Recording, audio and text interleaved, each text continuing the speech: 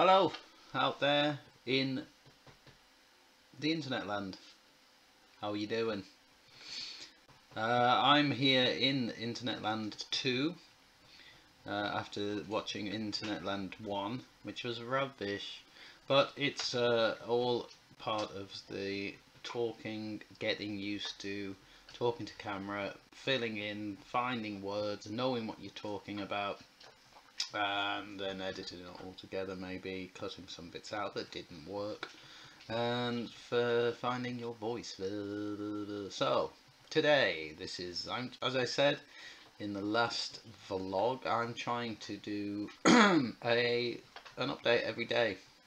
Following the demise of Whales English shot in the head as you see from this rather quickly uh, put together graphic that I did earlier today. Um, brutal and deadly.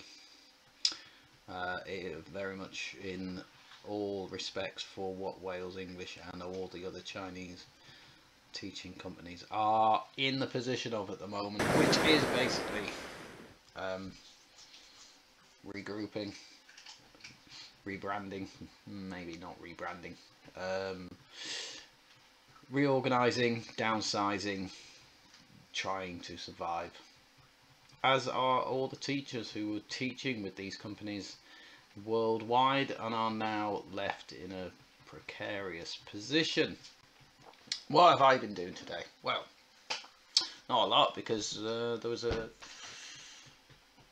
bloody electrical outage earlier on today. I was looking at IELTS. I've been looking at maybe doing an IELTS teacher training thing.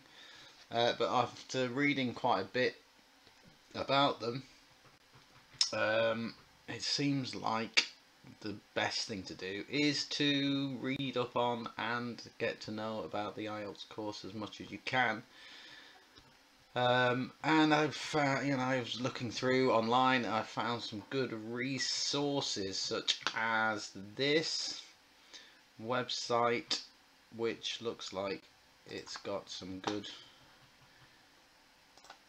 things on it.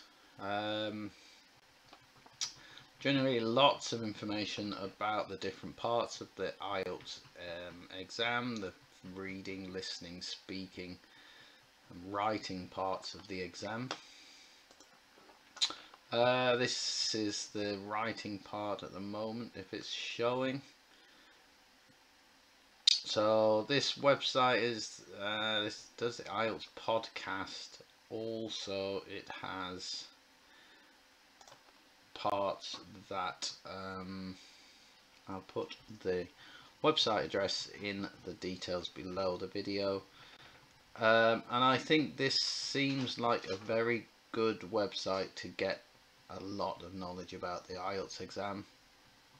Uh, maybe save the expense of doing a course in teaching IELTS um, as they uh, the courses I was looking at range from anywhere between sort of 38 pounds I think to 340 350 pounds uh, which generally speaking is is what you're paying for is someone who's chopped up and put into easy to take in sections what you can find on the internet about it anyway.